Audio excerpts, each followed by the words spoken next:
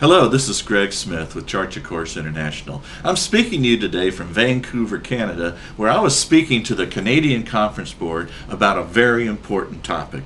And that topic is how do you transform average workers into high performing employees? Now, you probably already realize that, that the, the workforce demographics is in a huge change, transformation right now. We have a an older population heading toward retirement. We have a smaller group of younger people who have a totally different expectation and attitude about work.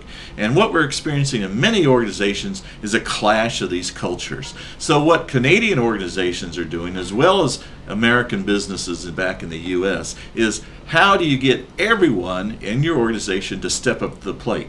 How do you get everyone to contribute at 100%? That is a transformation Now, last week's, uh, last month's Navigator newsletter, I provided you an article about the, the pride strategy of transformation. Now, one thing that really helped me when I was working with people is this. When you look at an individual, you have to focus on not on who they are, but what they can become. See, you as a leader have a powerful ability to transform people into something better than they are currently, to transform them into being a better performance individual. That is what leadership's about. And this is Greg Smith with Chart Your Course International, speaking to you today from Vancouver, Canada.